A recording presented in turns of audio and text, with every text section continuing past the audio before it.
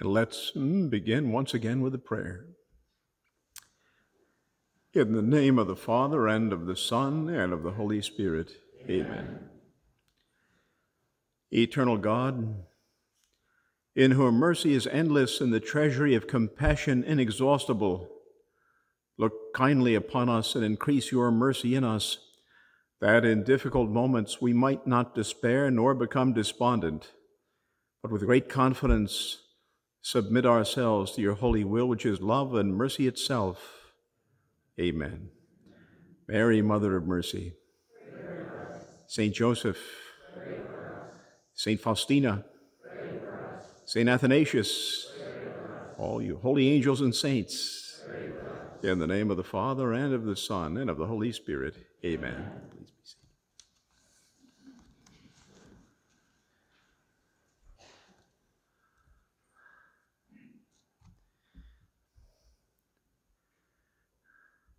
A reading uh, from the book of the prophet Isaiah.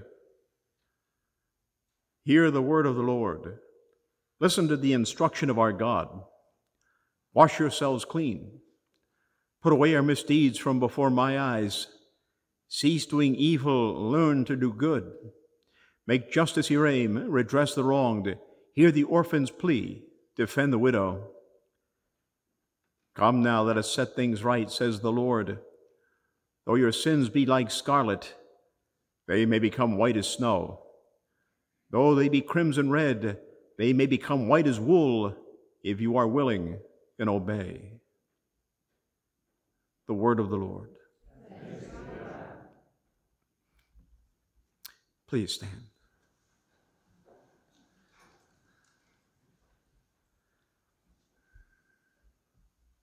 The Lord be with you. A reading from the Holy Gospel according to Luke.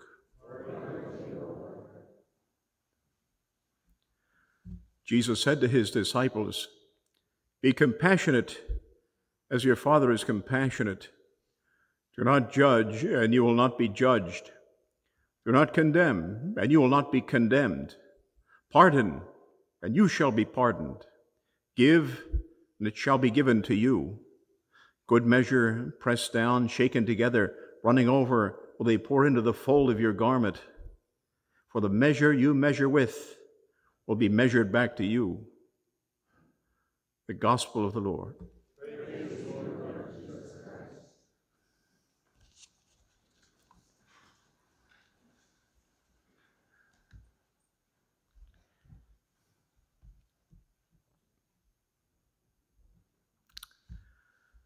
On the night of February the 22nd, 1931, in a convent near the village of Plock, Poland, our Lord appeared in a vision to a simple, humble woman, an obscure nun, Sister Mary Faustina Kowalska. And in this historic vision, uh, St. Faustina saw the Lord Jesus Christ dressed in white garment, with one hand raised in blessing, and the other hand touching the garment near the heart, and from his sacred heart there came beaming those two large rays of light, one red and the other white, symbolic of the price of our salvation, the blood and water that flowed from the divine heart pierced by the soldier's lance on the cross, the fountain of sacramental life in the church. To St. Faustina, Jesus said, Paint an image according to the pattern that you see with the signature, Jesus, I trust in you. I desire that this image be venerated first in your chapel, then throughout the world. I promise that the soul that will venerate this image will not perish. And our Lord made St. Faustina the modern apostle of divine mercy. And his message to her is his message to all of us and to the whole world. And yet, even now, I find uh, that there are so many practicing Catholics who still don't know it, never heard it before. They know little or nothing about the Divine Mercy devotion, little or nothing about our Lord's revelations to St. Faustina, nothing about what is in her diary. They know little about uh, the Feast of Divine Mercy and the second Sunday of Easter and all the indulgences attached to that. They don't know the chaplet of the Divine Mercy, all the promises attached to that.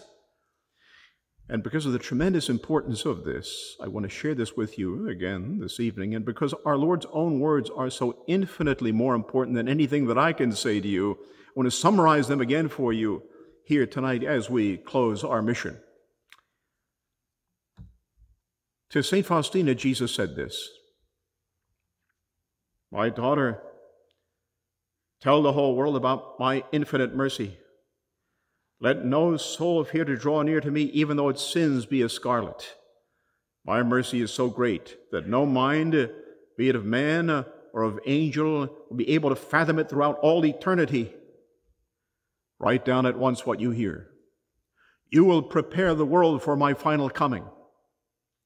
I am sending you with my mercy to the people of the whole world. I do not want to punish suffering mankind, but I desire to heal it pressing it to my merciful heart. I use punishment when they themselves force me to do so. My hand is reluctant to take hold of the sword of justice. Before the day of justice, I am sending the day of mercy. Write this Before I come as the just judge, I am coming first as the King of mercy. My heart overflows with great mercy for souls, and especially for poor sinners. If only they could understand that it is for them the blood and water flowed from my heart as from a fount overflowing with mercy. For them I dwell in the tabernacle as the King of mercy. I desire to bestow my graces upon souls, but they do not want to accept them. You at least, come to me as often as possible and take these graces they do not want to accept. In this way, you'll console my heart. Oh, how indifferent our souls to so much goodness, to so many proofs of love. My heart drinks only of the ingratitude and forgetfulness of souls living in the world. They have time for everything, but they have no time to come to me for graces. Souls who spread the honor of my mercy I shield through their entire lives, and at the hour of death, I will not be a judge for them, but the merciful Savior. At that last hour, a soul has nothing to defend itself except my mercy. Happy is the soul that during its lifetime immersed itself in the fountain of mercy, because justice will have no hold upon it. Tell sinners that no one shall escape my hand. If they run away from my merciful heart, they will fall into my just hands. End quote. Now, let me make this point. It's important to understand that God's message of mercy to the world did not start with our Lord's revelations to St. Faustina in the 1930s. It did not begin with the Sacred Heart devotions in the 17th century. In fact, there's nothing new about God's proclamation of His mercy. It's all over the sacred scriptures. You know, some of these crazy, whacked out modernist scripture scholars drive me nuts. Their commentaries on the Bible. They try to tell us that the Bible essentially presents us with two different gods.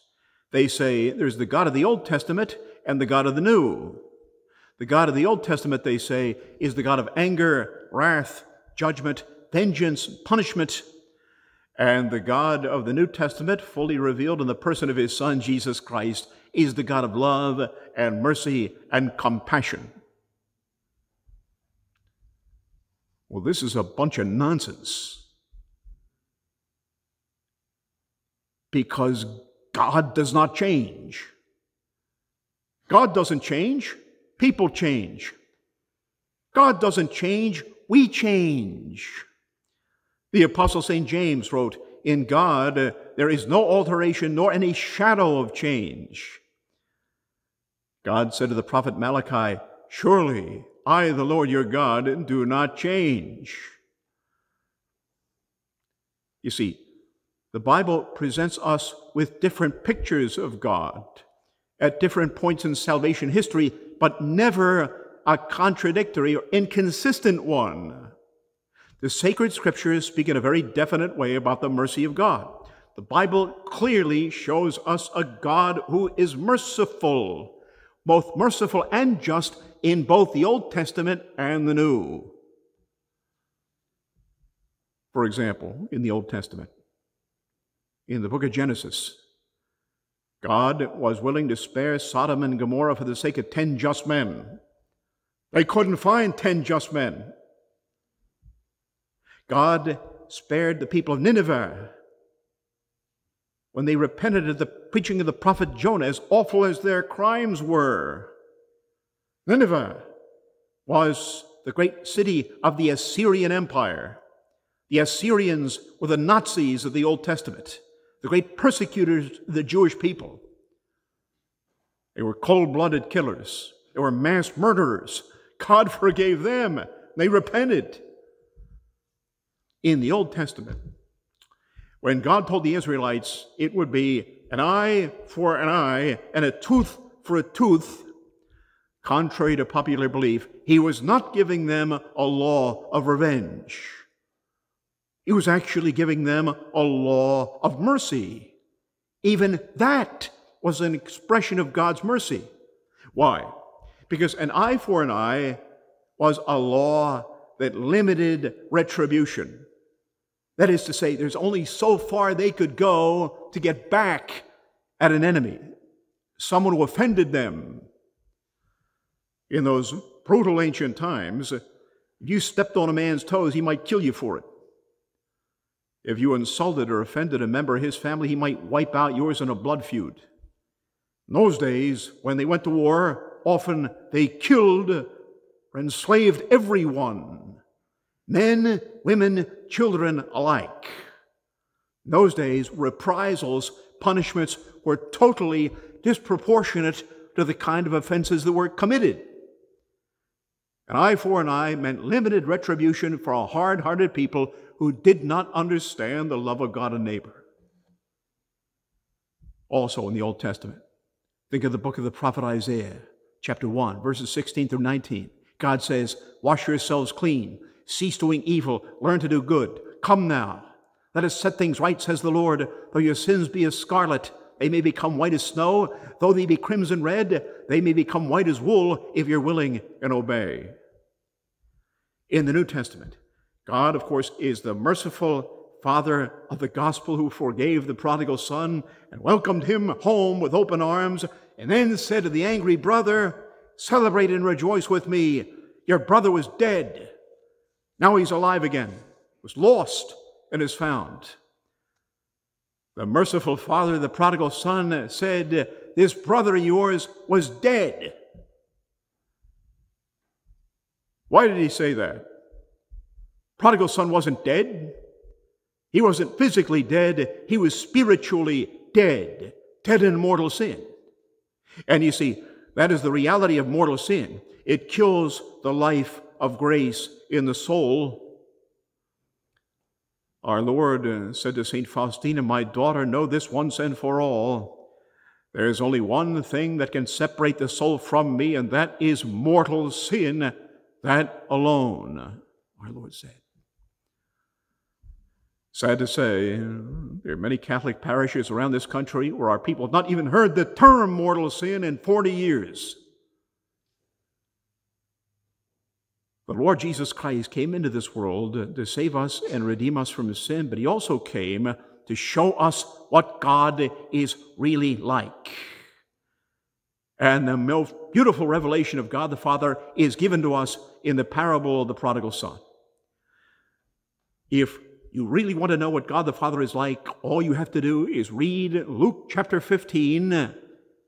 There is the love of God, there is the mercy of God revealed in the Father who waits with open arms. Hmm? Also, in the New Testament, think of the Apostle St. Paul.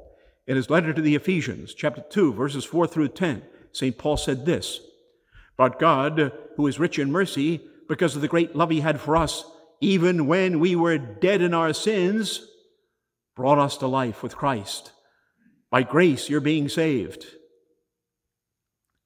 The message of divine mercy resonates in sacred tradition, the lives of the saints and their writings. Let me share just a few of my favorite quotations from the saints here. Uh, this one is from Saint Therese of Lisieux, the Little Flower, who you know I love. She said this quote, if the greatest sinner on earth should repent at the moment of death and draw his last breath in an act of love, neither the many graces he had abused nor the many sins he had committed would stand in his way. Our Lord would receive him into his mercy. No one can make me frightened any more because I know what to believe about his mercy and his love. I know that in the twinkling of an eye, all those thousands of sins would be consumed as a drop of water cast into a blazing fire. End quote. In 1673, our Lord appeared in a vision to St. Margaret Mary Alacoque at Paray-le-Monial in France before the exposed Blessed Sacrament. Our Lord showed St. Margaret Mary a vision of his Sacred Heart and said this Behold the heart that is loved so much and is loved so little in return. St. Margaret Mary's spiritual director was St. Claude de la Colombière, one of the greatest spiritual directors of all time. Now, I'd venture to say that most of us are concerned about the sins of the past, but our past sins, the sins we may have forgotten to confess,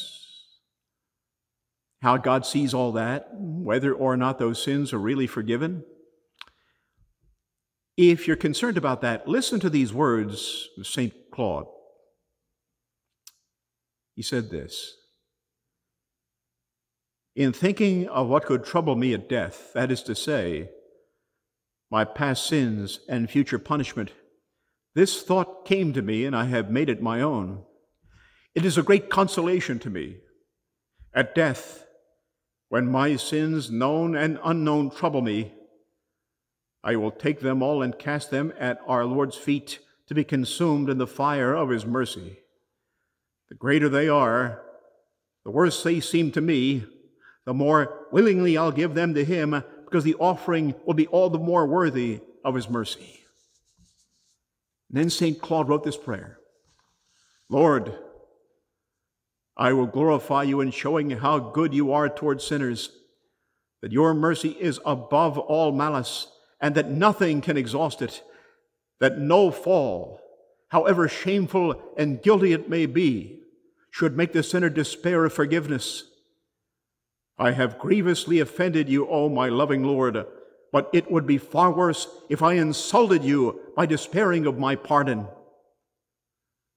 I will lose everything rather than the hope I have in your mercy. If I had fallen a hundred times, and my sins were a hundred times worse than they are, I would still hope in you.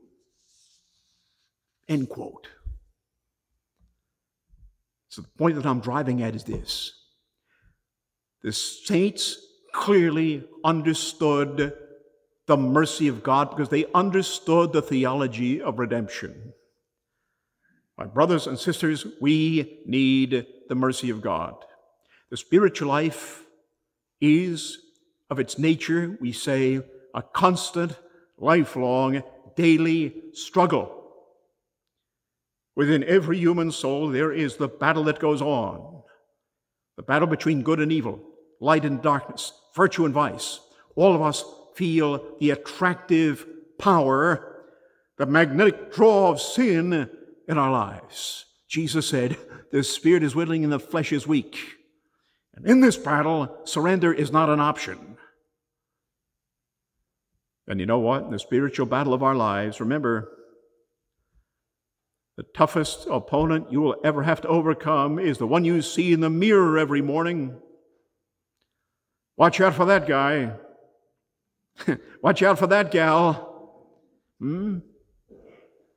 Without the grace of God, without the divine assistance, believe me, that guy, that gal is more dangerous to you than the Russians and the Red Chinese and the North Koreans, Vladimir Putin, Xi Jinping, and Kim Jong un, all the terrorists put together.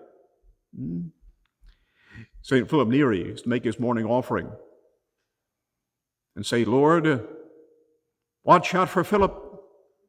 Beware of Philip today. He could betray you. you see, the saints had what we call a healthy distrust of themselves. They understood human strength alone will never be sufficient to overcome sin and temptation. It is impossible to remain long in this state of grace without recourse to the means of grace, the power of prayer, spiritual reading and meditation, frequent worthy reception of the sacraments, most of all, avoiding the occasions of sin. Hmm? Remember this sin will not bring you peace. Don't kid yourself. Now, you can have a superficial, external kind of peace. Uh, you can have a false sense of security. You can dull and deaden your conscience through habitual sin. But you will never have true, lasting peace. Will all catch up with you in the end, as it always does. Hmm? Well, people try to deceive themselves. You can try to find your fulfillment in sinful relationships and sinful lifestyles. Uh, you can adopt what we used to call the playboy mentality or the playgirl mentality. Right? You can adopt the rotten, insidious, contraceptive mentality. You can surrender your body, which God intends to be the temple of the Holy Spirit, to the pagan mores of the sexual revolution the whole subculture of pornography, fornication, adultery, homosexual activity, sodomy, self abuse, and degradation. You can have kind of false, fleeting peace and pleasure somebody like Hugh Hefner had walking around in his bathrobe for 70 or 80 years. Hmm? now, I know we have mostly an older crowd here, and I know that you would remember Hugh Hefner. Hmm? Hugh Hefner passed away about a year and a half ago. And in case you don't know, Hugh Hefner was the founder of Playboy magazine. He is called the godfather of modern pornography. Hugh Hefner was a celebrity, an icon in the American pop culture for more than half a century. And today, I'd be willing to bet you most of the millennials and the Generation Z kids don't even know who he was. Hmm? But I was thinking about Hugh Hefner. And I asked myself, did any man ever lead so many other men into sin? Not to mention the women. Now, Hugh Hefner was a lifelong committed atheist right to the end. He never deviated from that in any way. He once said, It has always been perfectly clear to me that religion is a myth. So now he knows better. Hmm? Yes, uh, Hugh Hefner would always tell men that uh, there is no heaven, there is no hell, there's no afterlife, there is no re- eternal reward, there is no eternal punishment. So live for today. Get all the pleasure you can any way that you can. He posted that in his lifetime, he had had sex with more than a thousand different women. Yet among them all, he said, he could never find his soulmate. Poor Hugh. Is it any wonder he could never find his soulmate? He could never see past a woman's body long enough to know she even had a soul. We have a name for that. We call it lust.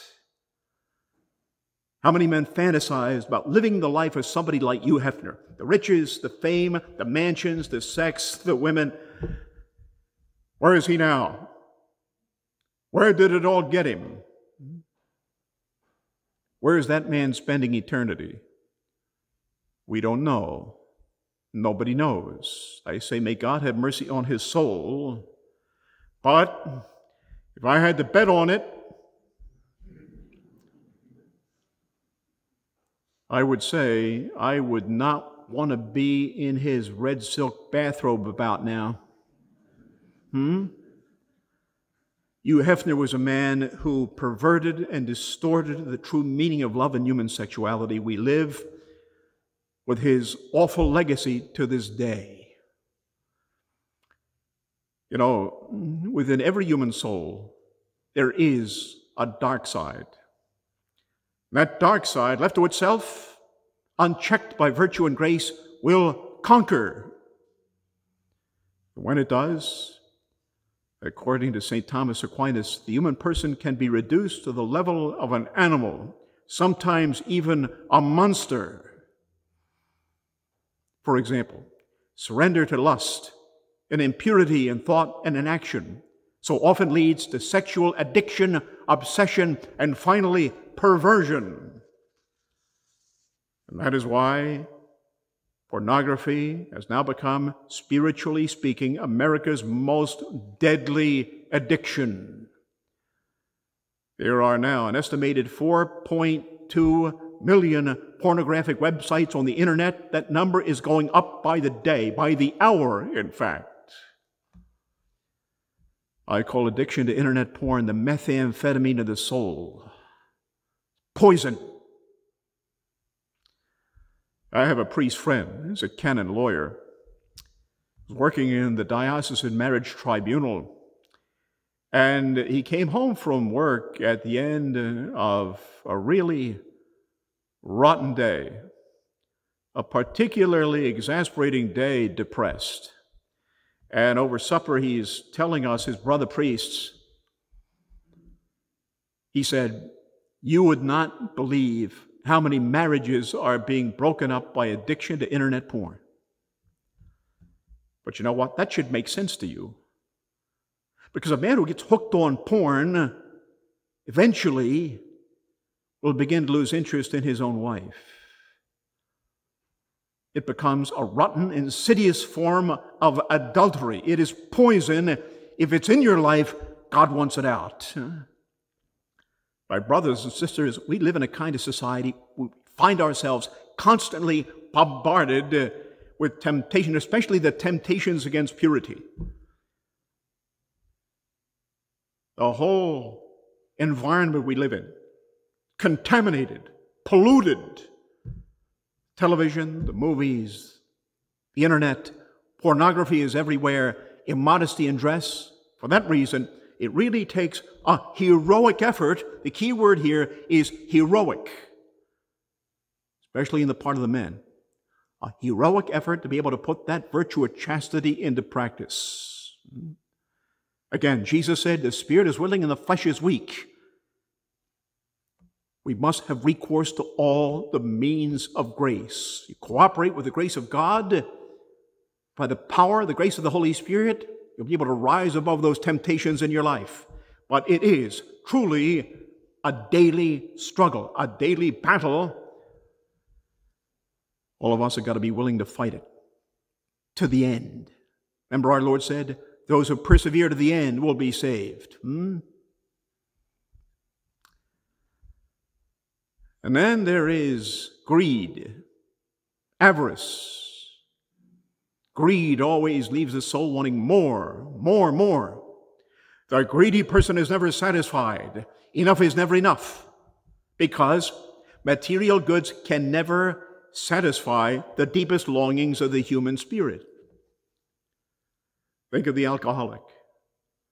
The alcoholic is never satiated. He's got to battle the addiction. There's the old saying for the alcoholic one drink is too many. A thousand are not enough. The drug abuser gets hooked, and the high always wears off, and there's got to be more and more bigger doses, more potent junk to get the same kind of high. The end is addiction, destruction of the person in mind and body, and very often the ruin of the people who are closest to him, the people that he loves. Jesus said, Those who live in sin become the slaves of sin. This is the bondage of the human will, the surrender of the soul to vice. Now, many people try to deceive themselves by claiming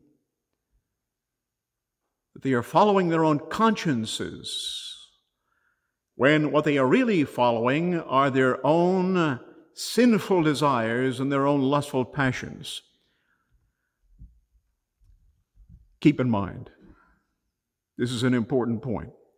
All of us have a serious moral obligation, a grave obligation to have rightly formed consciences, correct consciences, consciences formed and informed in accordance with God's definitive revelation to humanity.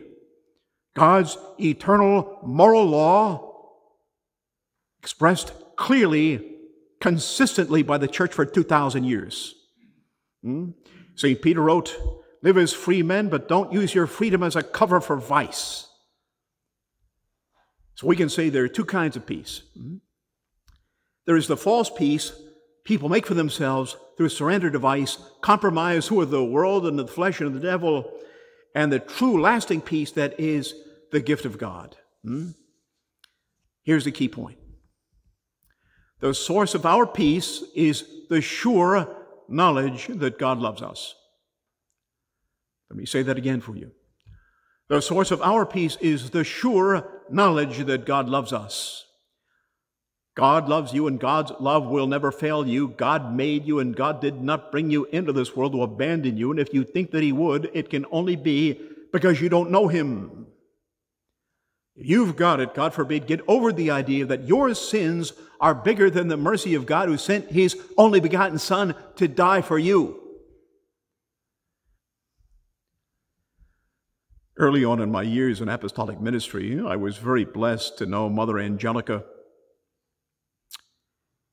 And uh, I have always believed, and there's no doubt in my mind, that Mother Angelica is a saint. Hmm? But I remember Mother telling us one time, she said, You know, if you were the only sinner in the world, if you were the only soul in this world in need of redemption, God still would have become man. Jesus Christ would have come into this world to die for you, you alone. That is the infinite value of a single soul in the sight of Almighty God. Hmm? God offers the gift of His mercy. We have got to cooperate with that grace. Now, whenever we talk about the divine mercy, I think we have also got to talk about two really, really bad responses to it. The worst responses to the divine mercy. Two extremes, right? Two opposite extremes, sins against the virtue of hope. The first, the most rampant today, is presumption. Presumption, the idea that God is so loving and God is so merciful that it doesn't matter what I do. It is the idea that God understands me and God wants me to be happy, so therefore, God is going to let me do all the things that I think are going to make me happy. I can commit as many sins as I want to. I don't have to repent. I don't have to change my ways. I'm going to heaven anyway. There it is.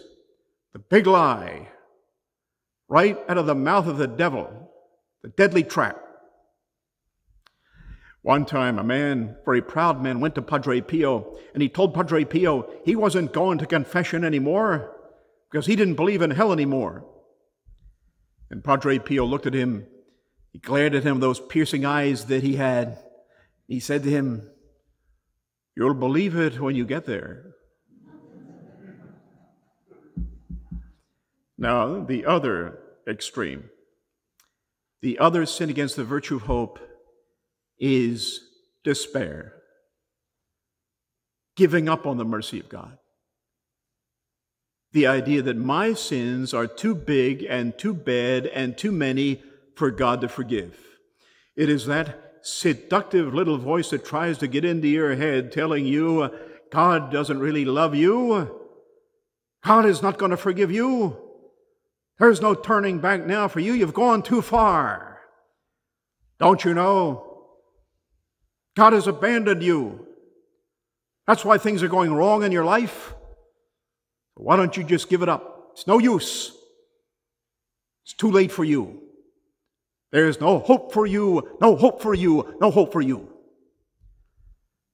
There it is, the devil trying to drag us down into despair. I've heard despair called the capital city of hell. Listen to the words of Archbishop Fulton Sheen from his book entitled Peace of Soul. He wrote this The figure upon the cross is not a KGB agent or a Gestapo inquisitor, but a divine physician who only ask, we bring our wounds to him in order that he may heal them. Was it not he who told us, I say to you, there shall be more joy in heaven over one repentant sinner than over 99 just? Why is there more joy in heaven for the repentant sinner than for the righteous? Because God's attitude is not judgment, but love.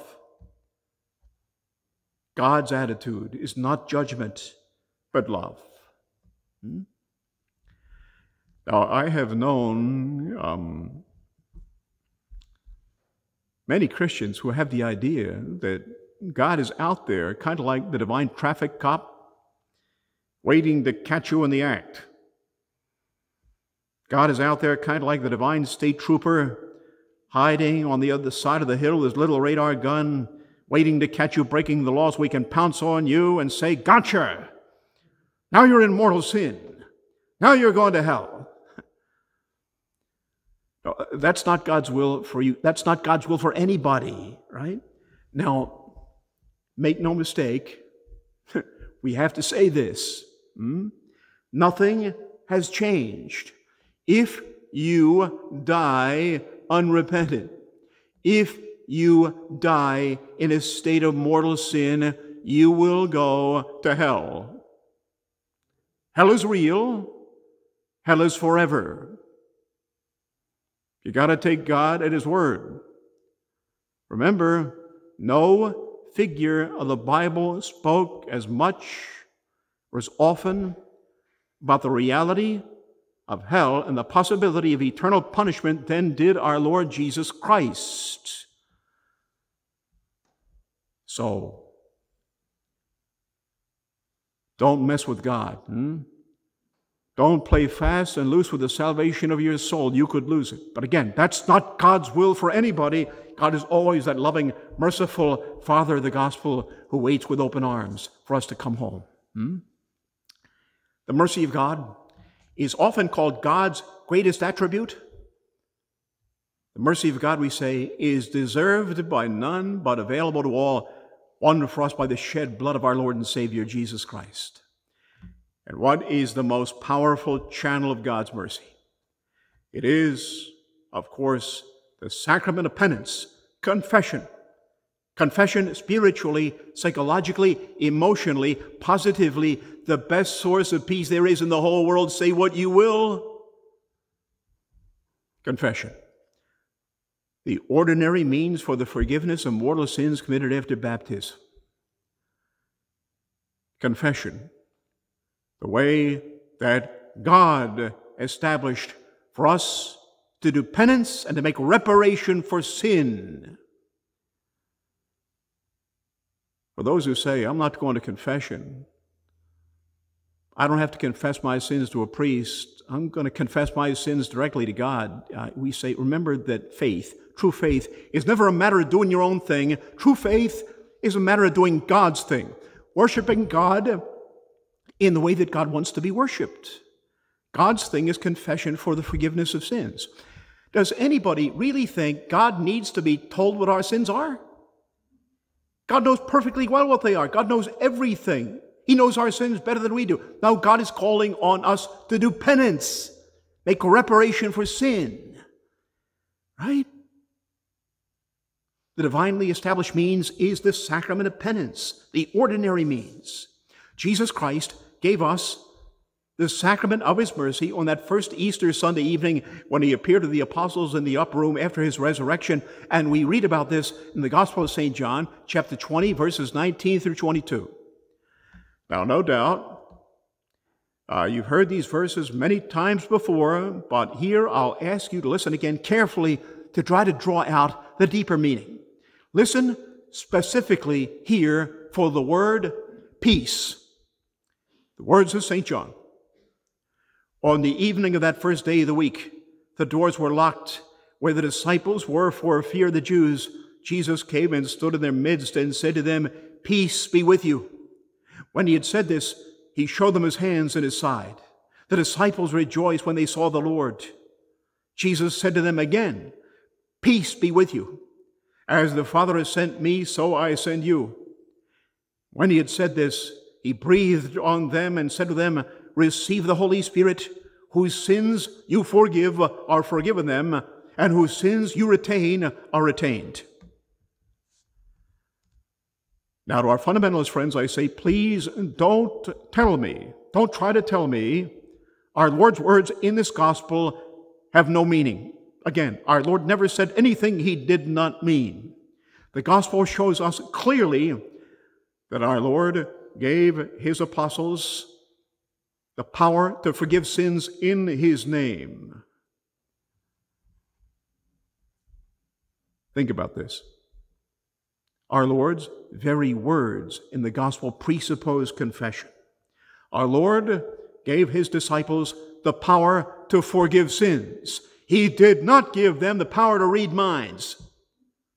How could they know which sins to forgive and which to retain if nobody would confess? For me, this has always been like a theological no brainer, right? A matter of spiritual common sense. Right? But the beautiful thing about confession is this listen, whenever you confess your sins to the best of your ability and the best of your memory, and you haven't held anything back, haven't held back any mortal sins deliberately, and you are truly sorry for all of your sins, and you've got that firm purpose of amendment, which simply means you're going to try with the help of God's grace to avoid the same sins in the future, you always leave that confession with that confident assurance of God's complete forgiveness. that's something that will fill you with a sense of inner peace. It is so often a burden lifted off of our shoulders. It gives us a certain sense of relief and often the joy, the joy that comes with having a clear conscience before God. Right? Remember, when you have made a sincere confession, a valid confession, all your sins are forgiven, even the sins you may have forgotten to confess from years back are forgiven. Why is that? It is because God sees uh, the disposition of the heart. Hmm? Remember, the human mind is not like a computer where you can enter in the right program and have all the data of your past sins print out in front of your eyes, right? You know, we live with the effects of original sin. Mm, one of those effects is that our intellects are darkened and our wills are weakened. We forget things all the time, right? God sees the disposition of the heart. God sees the contrition that is in the heart, right? What is true contrition? There are three elements to true contrition sorrow for sin, hatred for sin, and again, the firm purpose of amendment. Now remember, we should make frequent use of confession, and we must often make a good examination of conscience so we don't forget our sins. There's a danger in that, right? But if there's some sin that returns to your mind, that comes back to your memory from the past, something you don't think you've confessed, just bring that up in your next confession. See how simple it is. The infinite mercy of God.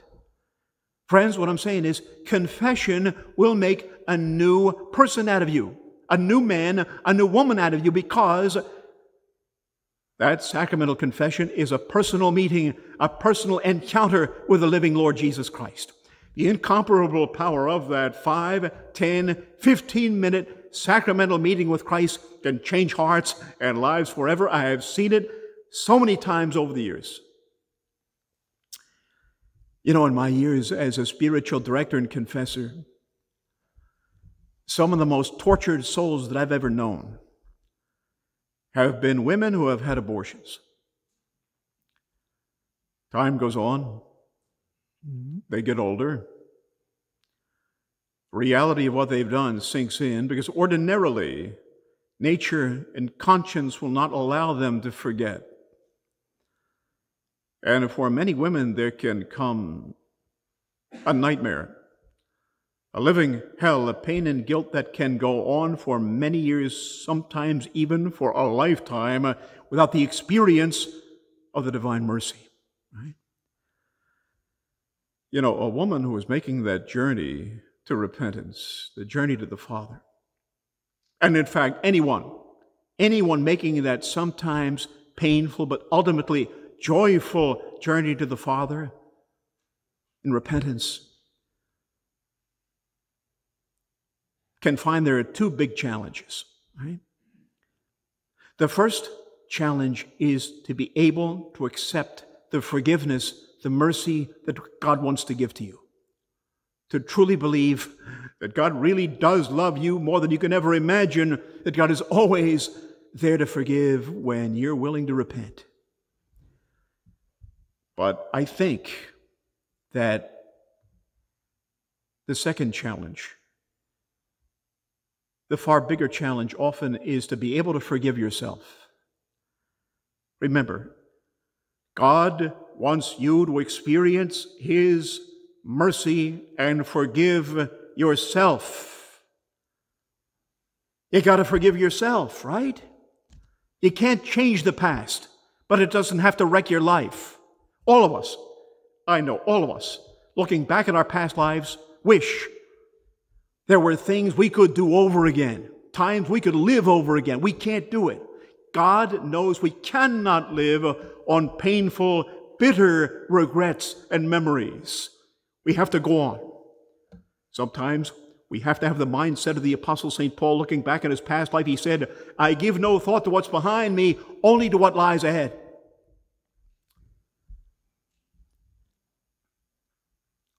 You know, if you think that your sins are too big and too bad and too many for God to forgive, think of the Apostle St. Paul. Started out a young man, anything but a saint. He was the young Pharisee named Saul, persecutor of Christians. Saul, you remember, took part in the killing of St. Stephen. And St. Stephen, before he died, prayed to our Lord to forgive his persecutors, and our Lord answered the prayer of St. Stephen in a big way. Saul had a dramatic conversion experience on the road to Damascus where he was headed to persecute more Christians. He was blinded by a flash of light, knocked off of his horse, and he heard the voice of Jesus Christ saying to him, Saul, Saul, why are you persecuting me? Notice our Lord did not say, Saul, why are you persecuting the church? Why are you persecuting Christians? He said, Why are you persecuting me? The church is his mystical body. We are his members by virtue of our baptism. But think about this. If St. Paul had for a moment doubted the love of God and the power of his mercy, he could never have gone on to do what he did. He could never have gone on to become one of the two greatest apostles and the greatest missionary in the history of the church. I once heard somebody say, you know, you priests, you priests made up all this stuff about confession because you want to hear all the dirt. Yeah, you want to hear all the scandal. You want to know how bad people are. Well, that's a lot of nonsense. And, and I'm sure that Father Portelli would agree with me when I say hearing confessions doesn't tell me how bad people are. Rather, on the contrary, it tends to tell me how good people are. I have heard so many beautiful, sincere, humble confessions. that have caused me to stop and give thanks to God there on the spot, pray to God and say, Lord, give me the grace to make that kind of a humble confession. Give me that kind of humility. That strengthens my faith. That's edifying to me. Pope St. John Paul II said this in a homily. The apostolate of confession is surely the best source of peace and joy there is in the whole world. Those confessionals scattered about the world where men declare their sins don't speak of the severity of God, they speak of His mercy. And all those who approach the confessional, sometimes after many years weighed down with mortal sins, in the moment of getting rid of this terrible burden, find at last a longed for relief. They find joy and tranquility of conscience, which outside confession, they'll never be able to find anywhere. End quote. So, friends, there you have it the divine mercy. Hmm? And I will leave you with our Lord's words to St. Faustina. Jesus says, My mercy is greater than your sins and those of the entire world. Who can measure the extent of my goodness?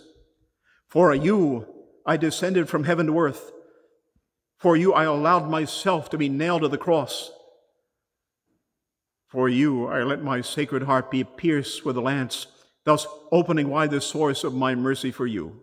Come then with trust to draw graces from this fountain. I never reject a contrite heart. Hand over to me all your troubles and griefs, and I shall heap upon you all the treasures of my grace. Amen.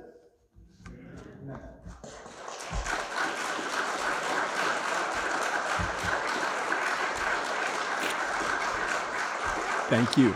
Thank you Uh, I just want to take a moment and tell you how much I have enjoyed being here at St. Athanasius to preach this mission. And again, I thank Father Portelli uh, for inviting me to come and spend this time with you. And uh, I want to thank uh, Dick and Beth Kinderman for uh, letting me stay in their nice little uh, guest house. Uh, certainly, they have been most gracious hosts this week, and it's been a very pleasant stay for me here. I thank uh, Sandy, who uh, watched over my CD sets at my table and took care of everything for me this week. And I thank all of you for your hospitality and for your generosity. And uh, I thank God. I thank God for the good turnout that we had and uh, for the good confessions that we had and the good weather that He allowed us to have during this, this week. And I hope it's been a great experience for you as well. And uh, again, uh, there is much to be thankful for. Uh, now, uh, it will be last call tonight on the uh, CD sets and the, uh, the, the, books. You know, the problem with a mission like this is that the people that most need to hear the message are the people who don't come. So it is the people like you who have to get the message out to them somehow. For the sake of evangelization, that's why we make the CD sets, right?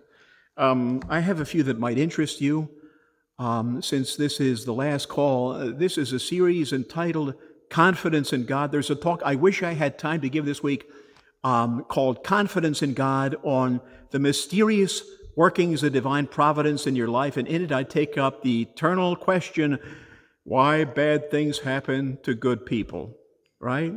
How important it is to trust in God. Also, uh, uh, I have a series here that I did with Father Wade Menezes, recorded by EWTN. It's the audio version of a Lenten mission we did for them. It's called Thirst for Truth and Battle for Souls, and there's about 10 hours of listening on these. And, uh, you know, they make, um, they make uh, uh, great little resource materials for evangelization. And uh, if you're making a day of recollection or a private retreat or for a prayer group, or if you just need to kill some time when you're driving, the CDs are great. So check those out. Also, I have a single here. I think we still have uh, several copies of this left, but uh, the title of this single is Scandals in the Church and ruin of souls, right?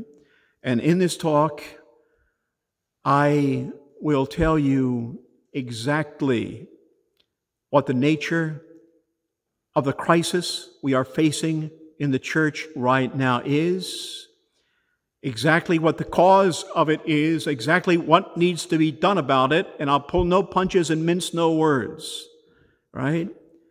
So check that out if you're interested.